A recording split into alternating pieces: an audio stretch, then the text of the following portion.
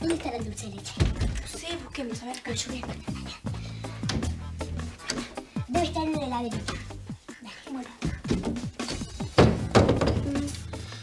Yo le abro y vos le pones al laxante, ¿sí? Sí. Uno, dos, tres. ¡Ah!